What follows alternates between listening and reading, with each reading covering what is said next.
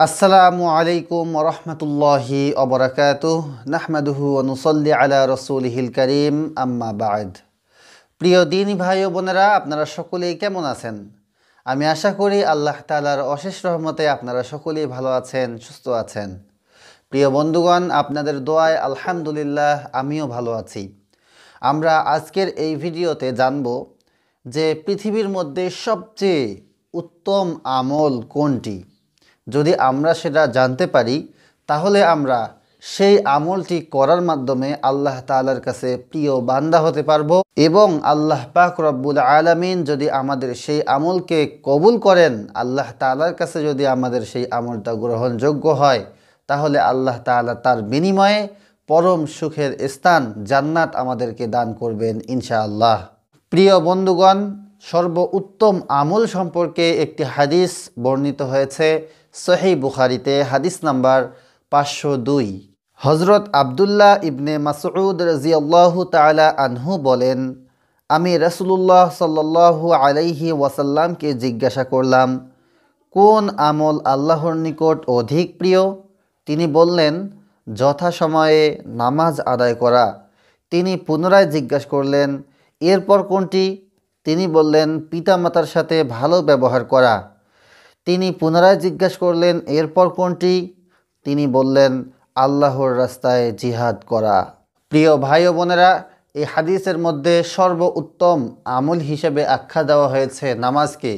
যে নামাজ যথাসময়ে যদি কেউ আদায় করে, তাহলে সে সবচেয়ে উত্তম, সর্বোত্তম ইবাদত করল, সর্বোত্তম আমল করল এবং তারপরে সর্বোত্তম আমলের কথা বলা হয়েছে পিতামাতার সঙ্গে ভালো ব্যবহার করা এবং তারপর সর্বোত্তম আমলের কথা বলা হয়েছে যে আল্লাহ রাস্তায় জিহাদ করা।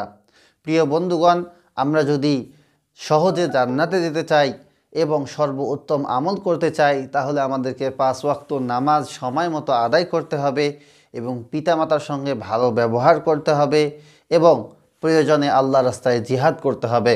সম্মানিত বন্ধুগণ সময় মতো পাঁচ ওয়াক্ত নামাজ পড়তে গিয়ে আমরা অনেকেই অলসতা করি বা অনেকেই আমরা নামাজের গুরুত্ব দেই না। এবং দ্বিতীয় যে আমলের কথা বলা হয়েছে সেটা হলো পিতামাতার সঙ্গে ভালো ব্যবহার করা। দুঃখজনক হলেও সত্যি যে, অধিকাংশ ছেলে মেয়ে এখন বাবা মাকে, বাবা মার সঙ্গে ভালো ব্যবহার করে না। অন্য আরেকটি হাদিসে বলা হয়েছে যে, পিতামাতাই হলো জান্নাত, পিতামাতাই হলো জাহান্নাম। যদি পিতামাতার সঙ্গে ভালো ব্যবহার করা হয়, তাহলে জান্নাতে যাওয়া যাবে। আর পিতামাতার সঙ্গে যদি খারাপ আচরণ করা হয়, খারাপ ব্যবহার করা হয়, তাহলে এর জন্যই জাহান নামে যেতে হবে। এজন্য সম্মানিত ভাই ও বোনেরা, পিতামাতার সঙ্গে অবশ্যই অবশ্যই ভালো ব্যবহার করবেন, সুন্দর ব্যবহার করবেন। আল্লাহ পাক রব্বুল আলমিন সর্বোত্তম ইবাদতগুলি আমাদেরকে করার তৌফিক দান করুন এবং আমাদেরকে পরম সুখের স্থান জান্নাতে যাওয়ার তৌফিক দান করুন। আল্লাহ আমিন। প্রিয় বন্ধুগণ, আজ এই পর্যন্তই। আমি আশা করি যে এই ভিডিওটি আপনাদের ভালো লেগেছে। যদি ভালো লাগে, তাহলে ভিডিওটি সকলের সঙ্গে শেয়ার করবেন, যাতে করে সকলেই এই বিষয়গুলি সম্পর্কে জানতে পারে।